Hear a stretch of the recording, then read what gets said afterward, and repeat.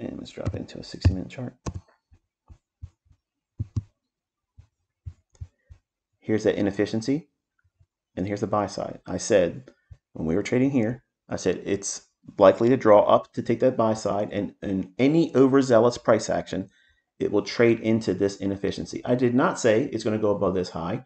I did not say it's going to go up here. I said it would want to go into this area for the purpose of taking the buy side, but it's going to go into this right here. This is a SIBI, S-I-B-I, SIBI, sell side imbalance, buy side inefficiency. Hang on one second.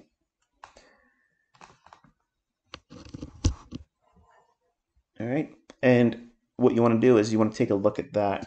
And anytime you have inefficiency, this is not quarters theory. I have to keep doing that. I know it gets on your nerves when I do things like that, but you'd be surprised, you know, if you're new here. So many people try to talk shit and say that I'm teaching something else and rebranding it, renaming it. Find quarters theory in this, okay? Because it's not there. Wyckoff doesn't even know about this. This inefficiency, you grade it, okay? Consequent encroachment is the midpoint. The lower quadrant down here, that's what it's respecting. Yeah, we have a little mohawk right here, but look at that candle and look at that candle there.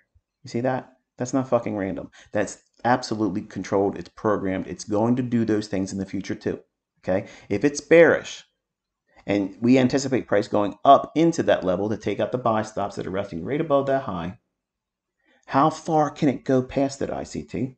How far can I reasonably expect it to go so that way I can place a stop loss where I can sleep at night knowing that I'm doing things with a systematic approach that's not random. I know when I'm placing my stop loss, it's based on sound logic, it's not guesswork. Okay. For me, you have to consider the fact that we could trade above consequent encroachment, which is the midpoint. It can do that. How can it do it? Just like it did here, just a little bit past it. So if you're going to go short in here, you have to allow for your stop to be where? Just above this plus another handle.